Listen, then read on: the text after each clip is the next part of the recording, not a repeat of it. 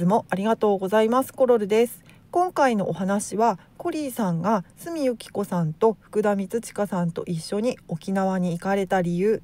また裏話などをしております。後半はコリーさんの一人語りなんですけれどもこちらはですね、えー、個人的な理由ですごく落ち込んでいた時にすみさんがとってもサポートしてくれた感謝の思いそしてこれからのオカルト業界への思いなどを語っております。それではお聞きください。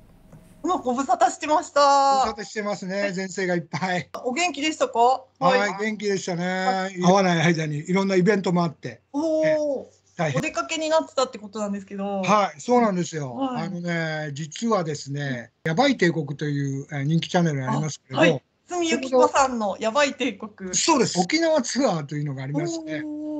そこにですね、ついていくという形になりまして、あやばい帝国沖縄ツアー2024という感じ。えそこにまあ私同行することになりまして、本当に申し訳ないなと思ってるんですよ。あの本当このチャンネルにもね、あのすみさんファン、やばい帝国 のファンもたくさんいらっしゃると思うんですけれど、本当にすみません。私昔え沖縄に、えー、仕事したりいろいろ滞在してた時期が長かったんで、え、うん、そういう絡みでですね、えいろんな話を聞いてたら清水さんから「じゃあ来ますか?」みたいな話が、ね、になりまして「うん、いややばて住由紀子にねあの言われたらそれは行くしかないっしょ」みたいな感じで あの現地でですねやっぱりね住さんって人気があるんであちこちのいろんな人から声かけられて。こんな人気があるんだこれは俺ちょっとやべえことやってんなみたいな 感じになったんでねもともとねそんなに出しゃばるつもりはなかったんですけれど、まあ、とにかく表に出ることをやめてつつましくつつましく行動しながらですね本当にあのやっていきましたんでヤバテファンの皆さんには本当に申し訳ないです。ただね、あのちゃんと自腹切っていきましたからね。すごい。はい。その辺あのご心配なく。天気はどうでしたか？あのね、それがですね、沖縄ってね、大体、えー、日本で一番雨が多いと言われるぐらいの、まあ、曇天やあの雨天が結構多い地域になったんですけど、それがですね、1週間、ほぼ、ほぼというよりも、全く、えー、雨に降られることはなく、えー、行ったというね、奇跡的な、えー、7日間でした。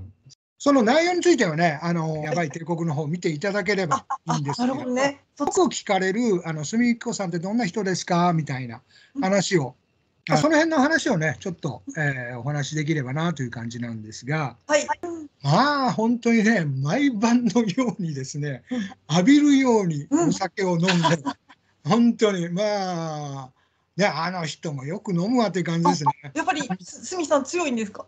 強いですね。強いしね、はっちゃけますしね、パワーあるし、人間力。人間力だ、人間力、うん、そういうのもね、本当に強く感じましたね。うん、とてつもないく大胆で、思い切った行動ができるね、うん、あのすごい女性だなっていうことを本当に感じましたね。やはりそうだったかみたいな。そうそうだったかって感じですよね。鷲見さん、福田さんとですね、ご一緒したのは。今回2回目だったんですね。前回は、えー、メキシコツアーで、えー、参加者もまあ20人近くいたのかな。あの深いお話とかもできなかったんですけれどただその時にですね、えー、ちょっと印象的なことがありまして最終日前ぐらいかな、え、その時にですね私の方にちょっと親族の、えー、訃報がですね、えー、届きましてでもあと1日2日ぐらいでしたんでえ僕の方もあまりそういうことをね、え盛り上がってるツアーの中で言うのも何かなと思って、えまあ、考えないようにしてたわけですよ。でただやっぱりねそうあんまりいい形の訃報ではなかったんで、まあ、考えてしまうわけですね。でやっぱりもうそこで、え私の精神状態がですねぐちゃぐちゃになってしまいましてこれ以上いくともうちょっと自分自身がもう取り乱してしまうっていうことを考えて近くにですね鷲見さんがいらっしゃってえー、スミさんにちょっとお話を聞いてもらってですねいや実はこれこれこういうことがあってちょっと精神的にちょっと辛いんだという話をさせていただいて、えー、彼女ね本当黙って、えー、聞いてくださってですねいろいろその後も、えケアしてもらってですね私はあの助かったんですけれどまあその後もなんとか取り乱すこともなく、え持ちこたえられたんですけども本当その時の細やかな気遣いに関しては本当にね感謝してるんですまあもちろんお礼をさせていただいたんですけれど今回ですね沖縄ということで